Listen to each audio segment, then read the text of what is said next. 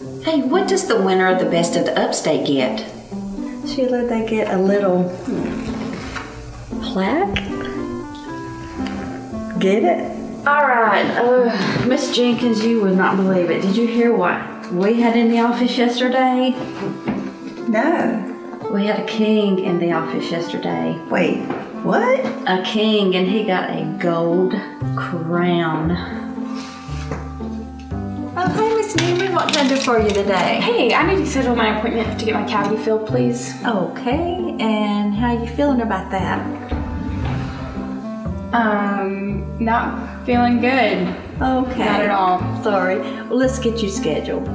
Oh, Tracy, your nails look great. Oh, thanks, Sheila. I went to that new place you told me about last night, and they made me so mad we almost fought tooth and nail. Robert Smith, you ready to go back? Ah, come on, you know the drill. Hey, girl, I'm back from vacation. Hey, Sheila, good. I know you can't wait to get back into the grind of things. yes, Miss Sosinski, we do have an appointment Thursday at 2.30. Dr. Roden is here today because our main doctor, Dr. Bagwell, is in Panama this week. Okay. He's looking for a root canal. Tracy, I had to testify in court yesterday. Oh, Sheila, did you tell the truth? The whole tooth and nothing but the tooth?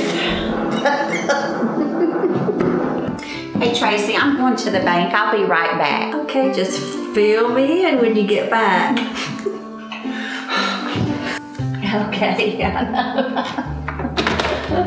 Tracy, will you stop telling all those dental jokes? Sheila, I have to be myself, or I'll be mad.